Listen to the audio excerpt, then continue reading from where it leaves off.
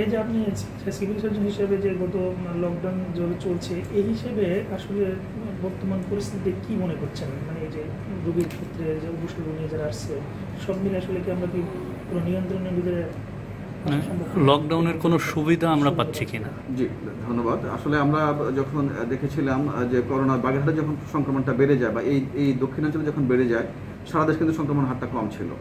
এই সপ্তাহে আমরা এসে দেখছি সারা দেশের সংক্রমণ হারটা কিন্তু বেড়ে গেছে আজকে প্রায়, আজকের হার প্রায় ত্রিশ পার্সেন্টের উপরে। কিন্তু বাগেরহাটে গত দুই দিন যাবত আমাদের সংক্রমণ ত্রিশ পার্সেন্টের কাছাকাছি আছে, যেখানে এটা পঞ্চাশ পার্সেন্টের উপরে ছিল।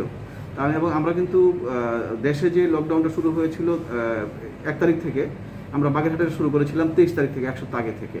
তো আমি মনে করি যে এক সপ্তাহ আগে থেকে শুরু করেছি, আমাদের আজকে প্রায় দুই সপ্তাহ চলছে লকডাউনের এবং সংক্রমণ হারটা কিছুটা কমে আসছে। তো আমি মনে করি যে হ্যাঁ আমার মনে হচ্ছে যে আমরা লকডাউনের ফলাফলটা পেতে শুরু করেছি।